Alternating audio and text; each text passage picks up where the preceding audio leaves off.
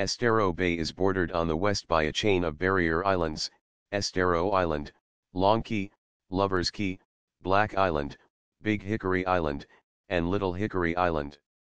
Four outlets give access to the Gulf of Mexico, from north to south, Matanzas Pass, Big Carlos Pass, New Pass, and Big Hickory Pass. Incorporated places on the bay include Bonita Springs and Fort Myers Beach and the unincorporated area of Estero.